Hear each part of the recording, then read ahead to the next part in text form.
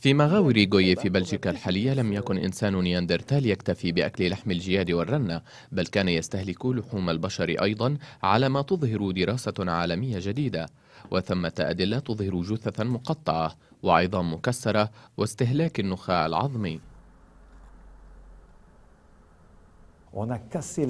كان يحطم هذه العظام بالطريقة نفسها التي كان يكسر فيها عظام الجياد والرنة التي عثر عليها عند مدخل الكهف وذلك من أجل إزالة النخاع العظمي منها.